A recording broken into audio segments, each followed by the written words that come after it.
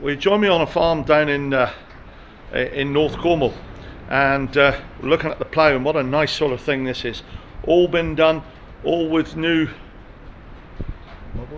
Yeah. moldboards um, and wearings and all nice and straight and right and everything good. Been used as uh, uh, here uh, in North Cornwall on various farms uh, assisting farmers in their ploughing season.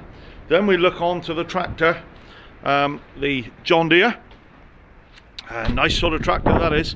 Um, man retiring really. Uh, he's sort of been semi-contracting, I'm sure he won't mind me saying, semi-contracting and uh, and working for others.